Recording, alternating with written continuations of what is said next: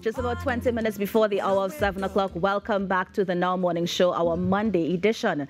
The Trade and Investment Convention is coming up this week from the 20th to 22nd of July at the Center of Excellence. And so joining us this morning to talk more about it, we have Dr. Mahindra Ramdeen, CEO of the Trinidad and Tobago Manufacturers Association. And we also have Mr. Daryl Duke, Assistant General Manager from TSTT. He is a business sales representative and also TSTT is one of the main sponsors at the TIC. Gentlemen, good morning. Hi, good morning to you. Thank you so much for joining us this morning.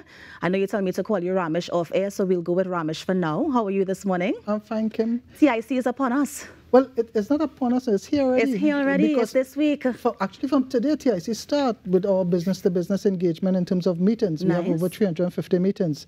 So today we start with our virtual meetings with buyers from all over the world who want to meet with exhibitors. So that process has started today. Mm. Uh, the webinar series has also started today. Right. So TIC has started for us effectively from today. From today. Yes. Now, I know we've been talking about it for weeks, but one of the interesting things we have coming up on Saturday is Consumer Day. Tell us about it. Yes. So we have our Consumer Day. We have at this time, I think, just over about 2,500 consumers registered to come on Saturday.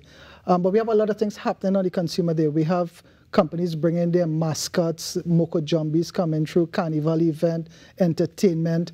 We have a, some members of the national cricket team, the coaches of the national cricket team to interact with John Public. We invite in school children. We have uh, we have partnered with some of the secondary and primary school to bring um, their children to acquiesce themselves about business um, who knows, someone might be excited about manufacturing. So we, we asking them to come. Yeah. But importantly as well, Kim, on Saturday we have a jobs fair on.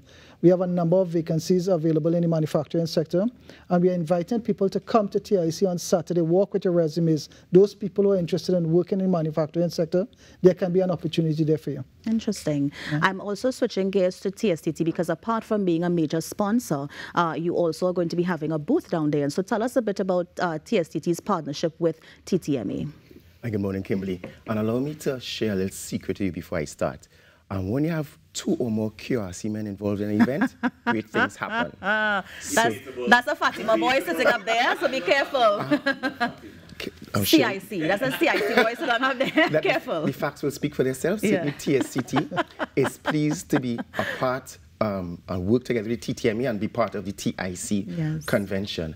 Um, TTMA stands for Value and Growth, mm -hmm. which is a foundation pillar of our purpose in TST, which is about nation building. Mm -hmm. The Trade and Invention, Trade and Investment Convention is about innovation and revolutionizing business, which is what TST is all about in terms of us facing the throes of, of competition and declining revenues for us to become sustainable and, and continue to grow, which, which all businesses um, seek to do.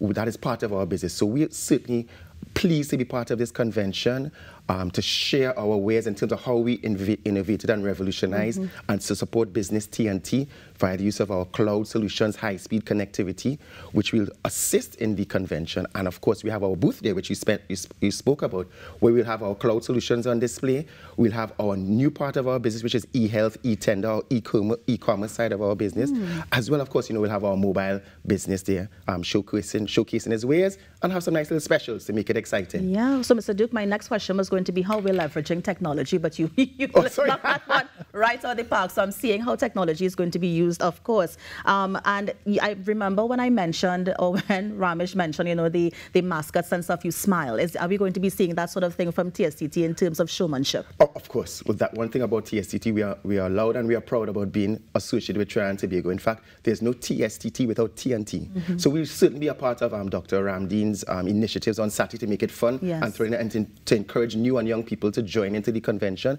and really showcase and be proud of something that we have at Trinidad and Tobago. So yes, we'll be big and part of Saturday's um, events. Nice. Um, Ramesh, you mentioned that the B2B, the meetings have already started. Um, tell us some of the meetings that are going to be having. Is it, you know, regional, talking to local, about export, or, you know, what, what, what is a B2B meeting really all about? Well, it's, it's about generating business opportunities for the exhibitors in Trinidad and Tobago and the buyers. But some of these meetings are geared towards investment opportunities. Kim, I had a buyer came in, unfortunately, he mixed up the time with TIC, TS, um, TSTT, TIC, right? He came in last week. Mm. And he had three hmm. meetings that were successful. We're talking close to about 100,000 US dollars already generated from three meetings he had in Trinidad and Tobago with relevant buyers and um, exhibitors in Trinidad.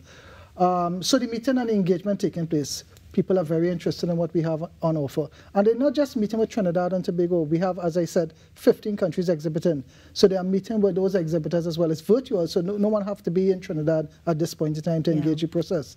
But I want to mention something about the consumer there again. I know a lot of people must be saying, and as a critique of TIC, that parking tend to be a mm -hmm. significant problem, um, which I keep saying the last time Trinidad need a convention center, and I, am going to make a plug for that every time I have the opportunity.